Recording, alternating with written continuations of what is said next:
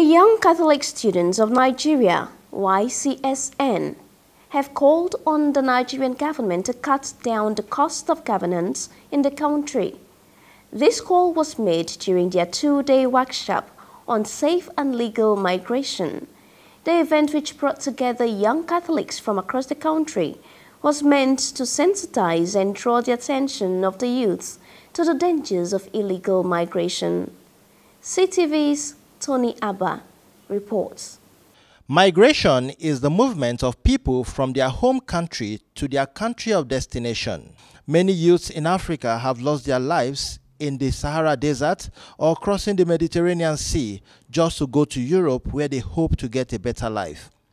Worried by the increase in this illegal migration, the Young Catholic Students of Nigeria YCSN has organized a two-day workshop to create awareness on the dangers of illegal migration and promote safe and legal migration. At the end of the workshop, the Young Catholics called on government to cut down cost of governance so as to free fund which could be used to better the country and discourage illegal migration. We are dismayed by the excessive loss of lives through irregular migration due to unemployment, very poor quality of education, insecurity, poor economic development, and many more.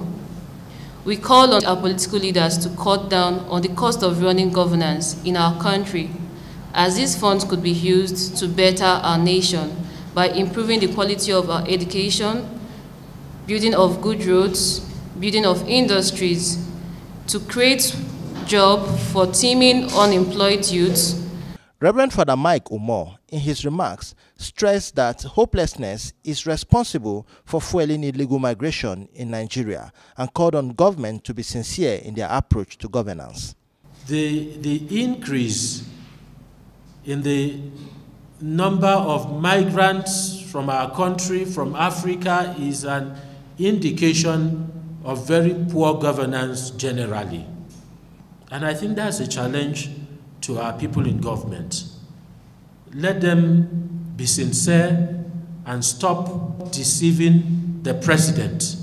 The national chaplain of YCSN, Reverend Father Benjamin Asa, explained the reason why the theme for the workshop was chosen at this time. We have taken this topic in collaboration with the African office, Pan African office in Kenya. And we want to do this campaign, calling on the nation, calling on Nigeria, that we should look inwards, fix the government. If we fix this, our youth will never go out again. The national coordinator of YCSN, Mr. Kelechi Osuji, in his remarks gave the strategy which the young Catholics hope to, to adopt in discouraging illegal migration in Nigeria.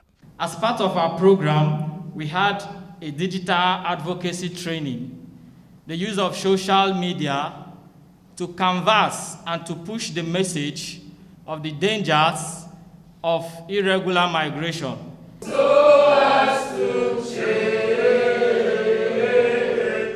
In Abuja, Tony Abba, CTV News.